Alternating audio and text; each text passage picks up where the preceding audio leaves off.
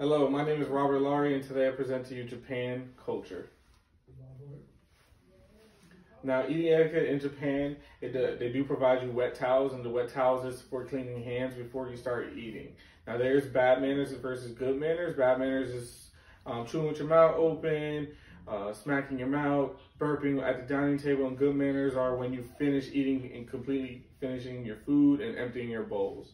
Uh, large dishes are usually shared. Um, you usually have a dedicated chopstick, so you can pick what you want from that dish. Um, and you will always return your dishes back to normal after eating. You do have, um, and if you want every, more information, you can go to japanguide.com for more information. Um, greetings, there's bow dep. Uh, there's three different types of bow, Ishaku, Kairei, and Shakairei.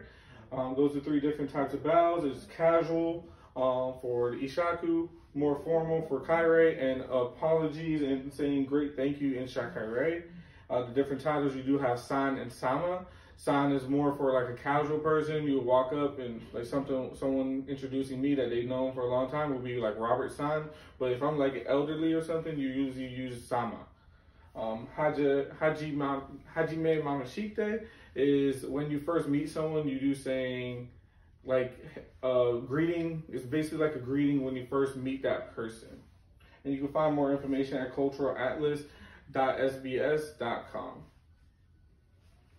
Marriage and dating in Japan, you do start off with a confession first. You do um, you say your feelings to someone and explain, empty your feelings, and usually that's the beginning of the relationship. Uh, during the relationship, they do split bills so they would both feel equal and not not um, feel like one is giving more than the other. Public confession is not a thing in Japan. They normally just hold hands. They wouldn't kiss or hug normally like we do.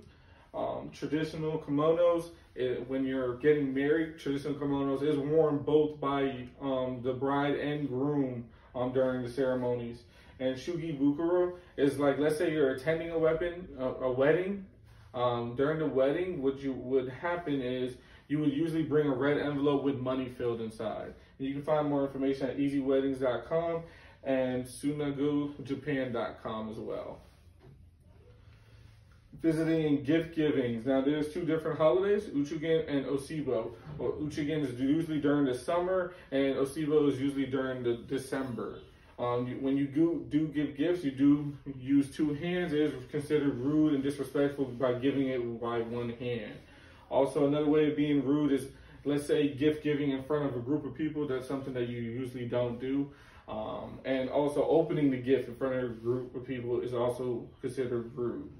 Um, presentation is key, as you can see here. Um, someone is wrapping a gift in a fabric material. Usually, what we would do is wrap it in um, a wrapping paper, and that's something that they do take serious about how you present your gifts. You can find more information at trulyexperience.com. Now, during businesses, you do not say no. That is something they try to stick away from. So you wouldn't have conflict during the business meeting.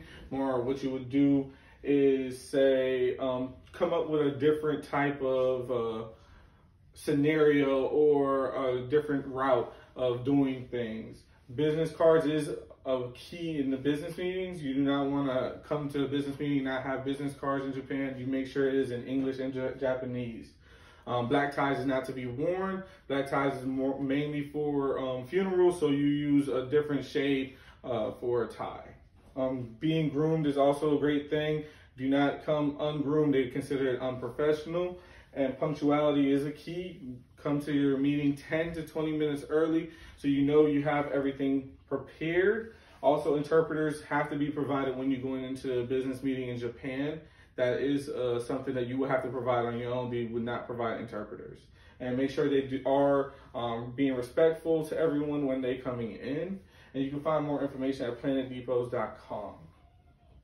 And thank you for joining me more about Japan's culture. If you have any information, you can always contact me. Have a good day.